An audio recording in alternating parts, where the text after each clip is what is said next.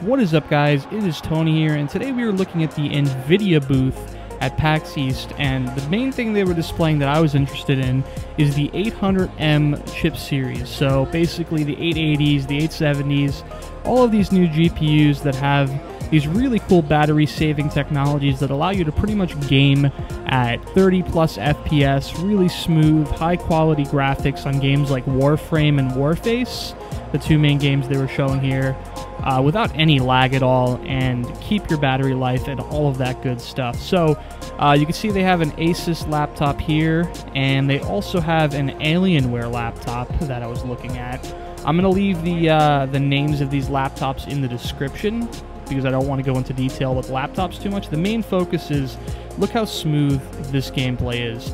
I mean, keep in mind this is a very compact, thin laptop. Doesn't get too hot as far as I could tell and it doesn't really drop frames at all. This is extremely impressive for a gaming laptop. I mean, it really gets rid of all of the big problems, and supposedly battery life is like doubled with this new technology. And this new technology basically allows you to limit the frame rates of the gameplay, and it basically uh, gets rid of the whole nonsense of having as many frames as you can, because the reality is it's not really going to change your gameplay at all. Um, so this technology is very interesting. It's a very cool way to bring mobile gaming to more people, make it more accessible, and make it more mobile, really.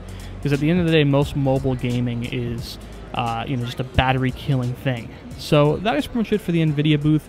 I'm going to leave you off with this really cool clip of Titanfall on dual SLI computers. But if you guys are enjoying these quick little videos to tell you what's going on at PAX East, go ahead and subscribe, leave a comment with some feedback, and that's pretty much it. I will see you guys next time.